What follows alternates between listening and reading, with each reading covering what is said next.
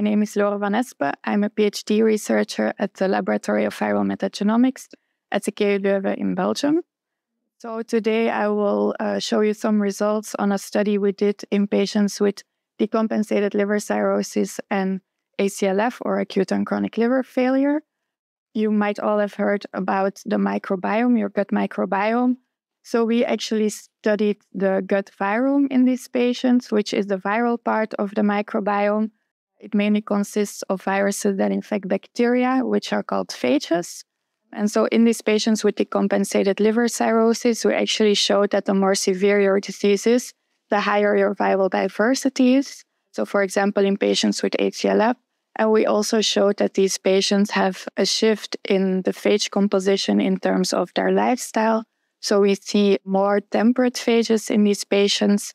And temperate phages are phages that can integrate their genomes into that of their bacterial hosts.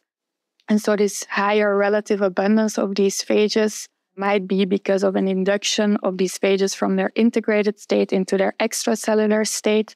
And an hypothesis for this could be the high levels of inflammation that are seen in acute on chronic liver failure. And next to that, we also found associations between specific groups of phages and some clinical characteristics. So, for example, we saw a higher relative abundance of lactobacillus A phages in patients that will develop ACLF in the near future. And these phages were also associated with a higher short term mortality. Also, enterococcus B phages were associated with a higher short term mortality, and these phages were also associated with bacterial infection, which is an important precipitating event and complication of decompensated liver cirrhosis and ACLF. And this finding we were able to validate in an external validation cohort.